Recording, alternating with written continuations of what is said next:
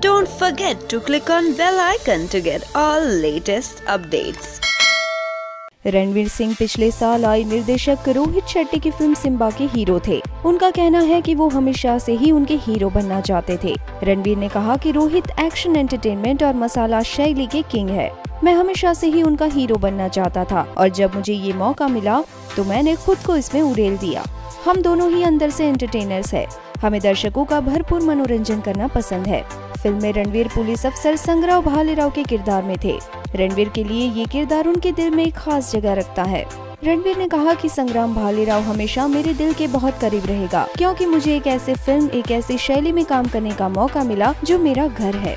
मुझ पर यकीन करने और इस पावर पैक को यूनिवर्स का हिस्सा बनाने के लिए मैं रोहित सर का शुक्रगुजार हूँ। सिम्बा ने सौ करोड़ ऐसी अधिक की कमाई की थी। शनिवार को एंड पिक्चर्स आरोप इसका वर्ल्ड टीवी प्रीमियर होगा। रणवीर सिंह और दीपिका फ़िलहाल लंदन में अपने आने वाली फ़िल्म 83 की शूटिंग में बिज़ी है। रिलायंस एंटरटेनमेंट द्वारा प्रस्तुत ये फ़िल्म 10 अप्रैल 2020 को हिंदी, तमिल और तेलुगु में रिलीज़ होगी। Bureau report, Indian film history. For more interesting and updated Bollywood news please subscribe Indian film history YouTube channel